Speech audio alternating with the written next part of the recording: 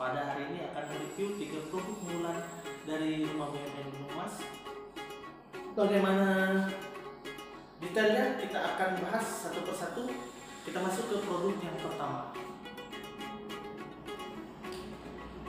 Produk yang pertama ini adalah produk miniatur yang terbuat dari getah nyatu. Di mana getah nyatu ini juga didapat dari pohon nyatu yang tumbuh di hutan tropis Kalimantan. Sangat banyak sekali kerajinan yang dibuat dari getah nyatu ini. Tapi salah satunya adalah kapal miniatur ini. Proses pembuatannya sangat rumit karena dia harus melalui beberapa proses dahulu. Proses pertama adalah pembersihan getah nyatu dengan cara direbus.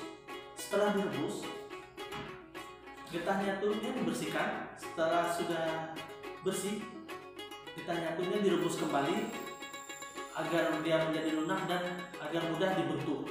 Setelah pembentukan, maka dia akan memasuki proses pewarnaan seperti kita dapat lihat di sini. Di sini kita melihat ada warna. Setelah selesai di proses pewarna baru dibentuk sesuai keinginan.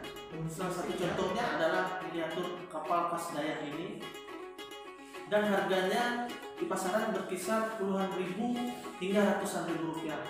Mungkin itu yang bisa saya jelaskan. Kita akan lanjut ke produk yang kedua. Oke, kita masuk ke produk yang kedua.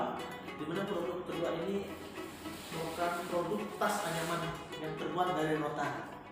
Bahan bakunya adalah rotan itu sendiri, di mana proses pembuatannya sedikit rumit karena harus membagi per bagian per bagian di mana bagian yang harus diwarnai dan yang tidak. Setelah dibagi, proses pembuatannya masuk proses penganyaman. Setelah selesai dianyam, akan menghasilkan bentuk seperti yang saya pegang saat ini. Ini merupakan tas anyaman rotan yang sudah menjadi motif khas Dayak, di mana motif ini biasa disebut dengan motif bajakah Kalalawe dan tas model ini sangat mudah ditemukan di Kalimantan Tengah, terutama di Kabupaten Gunung Mas, di mana rata-rata pengrajin banyak sekali yang membuat model tas seperti ini. Variasi tergantung besar kecil tas yang dibuat dan kerumitan anyaman yang dihasilkan. Kalau tas yang saya pegang ini kisarannya harganya 250.000 per tas.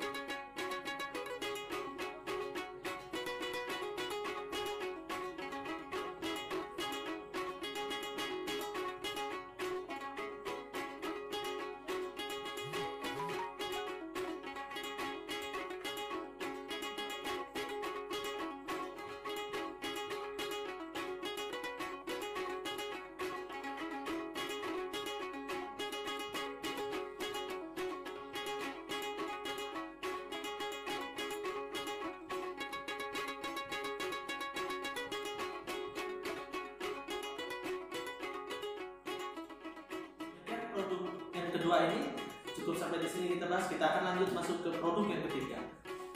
Kita akan lanjut ke produk yang ketiga atau yang terakhir, di mana produk ini produk kerajinan ini biasa disebut dengan mandau.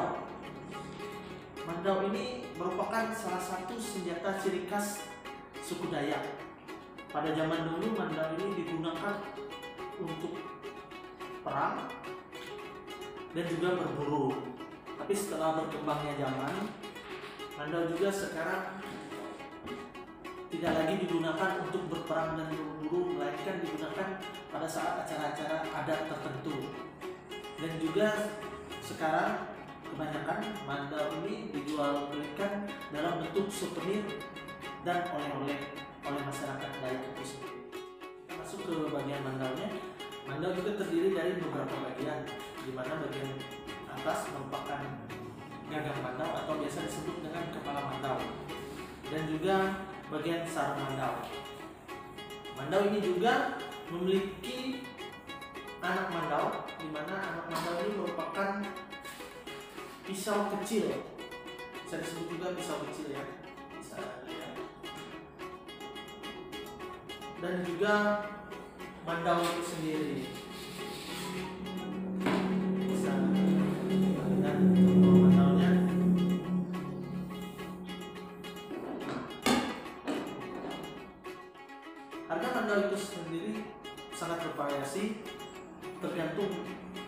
model dan ukiran yang dibuat.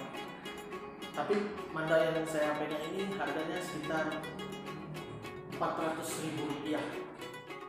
Demikian review yang saya sampaikan untuk ketiga produk ini. Kurang lebihnya saya mohon maaf. Saya ucapkan banyak terima kasih. Salam dari RB Gunung Mas